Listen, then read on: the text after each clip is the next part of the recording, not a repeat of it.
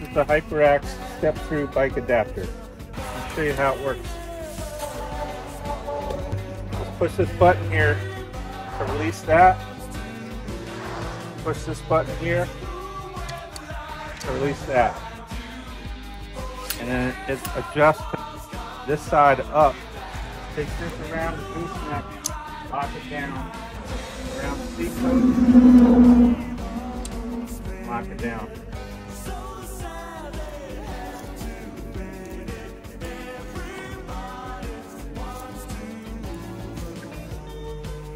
These adapters are great for loading your bike.